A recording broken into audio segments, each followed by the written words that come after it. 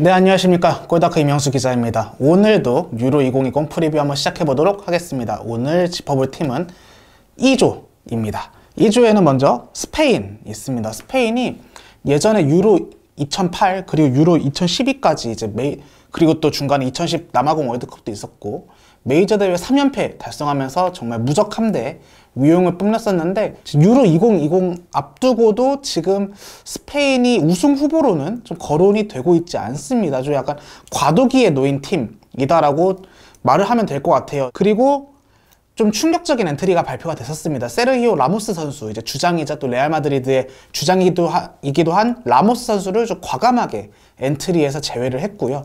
그 자리는 아마 프랑스가 아닌 스페인으로 귀화를 결정한 라포르테 선수가 좀 설 것 같습니다. 최근에 포르투갈이랑 평가전을 해서 한번 좀 그때 라인업을 토대로 스페인의 좀 베스트를 한번 생각을 해봤는데 먼저 골키퍼는 데헤아 선수가 아니라 우나이 시몬 선수라고 이 선수가 아마 좀 1번 골키퍼를 맡게 될 가능성이 높다라고 하더라고요. 그리고 모라타 선수가 원톱에 있고 또 맨체스터 시티에서 잘해준 페란 토레스 선수 또 공격 한 축으로 설 것 같고요.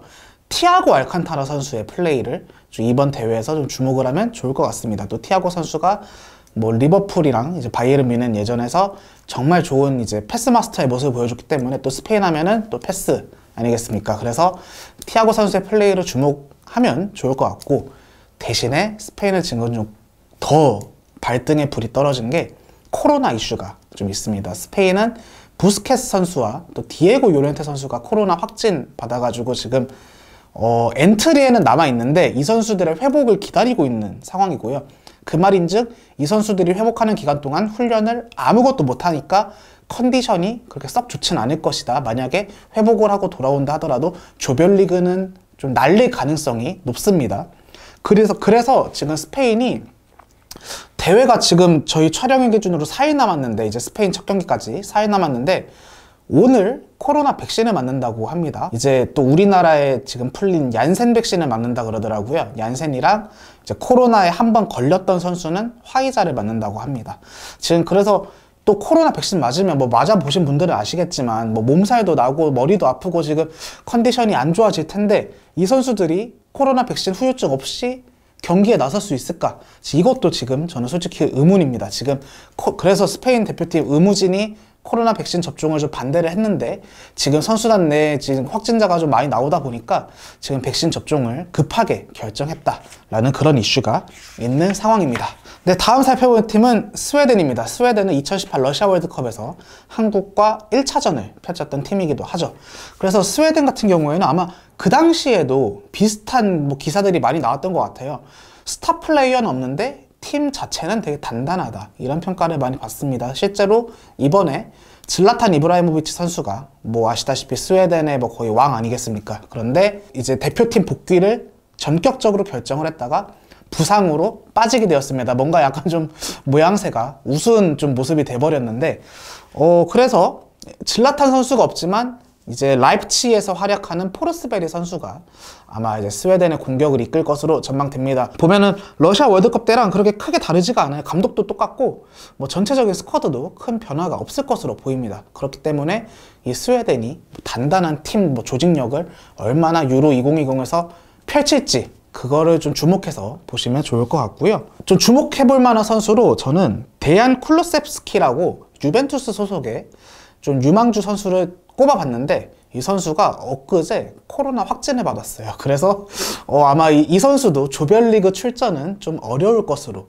예상이 됩니다. 다음 팀은 폴란드입니다. 폴란드는 아까 전에 스웨덴이 이브라이보비치의 팀, 뭐 물론 뛰진 않지만 이라고 했으면 폴란드는 레반도프스키의 팀이다 라고 해도 무방할 것 같습니다. 요즘 레반도프스키 선수가 정말 무서운 어, 퍼포먼스를 보여주고 있고 그리고 아마 뭐 발롱도르가 코로나 때문에 취소가 되었지만 유력한 발롱도르 후보로도 꼽히고 있는 선수고요. 그렇기 때문에 현존 최강의 공격수가 이번 유로 2020 메이저 대회에서 얼마나 또 좋은 활약을 펼칠지 그걸 또 주목해 보는 것도 재미있는 요소가 될 것 같습니다.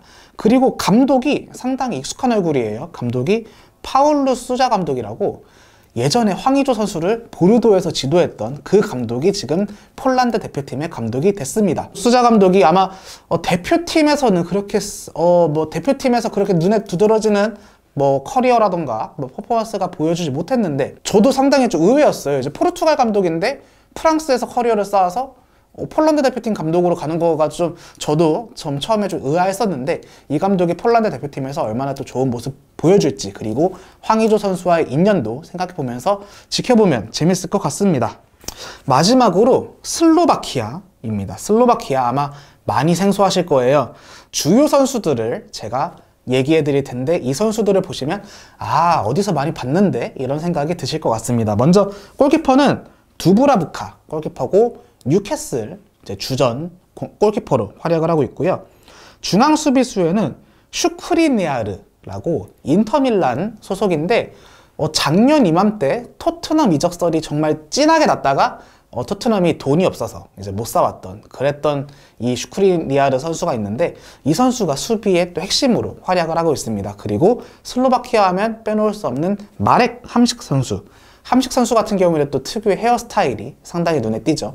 함식 선수가 아직까지도 또 현역으로 좀 뛰고 있는데 어, 슬로바키아 역사상 거의 뭐 최고의 스타 플레이어다라고 얘기를 해도 무방할 것 같습니다. 1987년생이더라고요. 지금 벌써 이제 나이가 꽤 많은데 이제 유로 2020이 아마 그에게는 거의 마지막 메이저 대회가 되지 않을까. 물론 뭐 카타르 월드컵을 슬로바키아가 진출한다면 뭐 월드컵까지 뛸 수는 있겠지만 지금 사실상 거의 마지막 대표팀 커리어가 되지 않을까 싶습니다. 그래서 함식 선수가 또 마지막 유종의 미를 어떻게 거둘지 그것도 지켜보는 것도 재밌는 관전 포인트가 될 것 같습니다.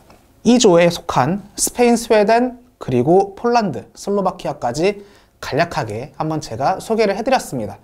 자, 이제 순위를 한번 예상을 해봐야 되는데, 처음에는 스페인이 당연히 뭐 1위를 하겠다, 이렇게 좀 그렇게 큰 이변이 일어나지 않겠다 싶었는데, 제 스페인이 좀 경기 외적으로 이슈가 많아서, 어, 이거 어떻게 될지 모르겠어요. 그래서 저는 폴란드의 1위를 한번 과감하게 꼽아보겠습니다. 폴란드가 그래도 레반도프스키 선수가 기량의 절정으로 올랐는데 유로에서 좀 더 좋은 모습을 보이고 싶을 그런 욕심이나 뭐 동기부여가 정말 남다를 것 같거든요. 그래서 저는 폴란드의 1위를 꼽아보고 스웨덴이 2위 그리고 스페인이 3위로 뭐 탈락은 하지 않을 것 같아요. 제 와일드 카드라는 제도가 있기 때문에 3위 중에서 상위권에 오르면 16강에 오를 수 있, 있는데 좀 아슬아슬하게 3위 막차를 타지 않을까 싶고 슬로바키아가 4위. 그래서 저는 3중 1약으로 이제 한번 얘기를 해보겠습니다. 이제 스페인, 스웨덴, 폴란드가 3중 강은 아닌 것 같아요. 3중 정도로 하고 슬로바키아가 1약으로 저는 E조 소개를 마치도록 하겠습니다.